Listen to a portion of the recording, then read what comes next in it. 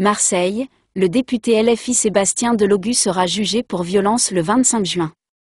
Le parlementaire proche de Jean-Luc Mélenchon est accusé d'avoir frappé un proviseur adjoint et une CPE d'un lycée des quartiers nord en marge d'une mobilisation contre la réforme des retraites. Le 25 juin prochain, le député LFI de Marseille Sébastien Delogu, proche de Jean-Luc Mélenchon, comparaîtra devant le tribunal correctionnel de la cité phocéenne pour des faits de violence envers le proviseur adjoint et la CPE d'un lycée des quartiers nord de la ville.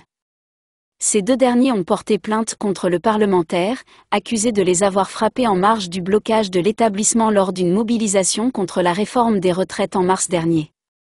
Il est reproché par ailleurs aux députés d'avoir refusé de se soumettre aux opérations de relevé signalétique. Prévue pour être audiencée ce mercredi, l'affaire a été renvoyée à la demande de la défense qui réclamait un supplément d'information. En cause, les images de vidéosurveillance du lycée sur lesquelles on aperçoit que les mollets des protagonistes.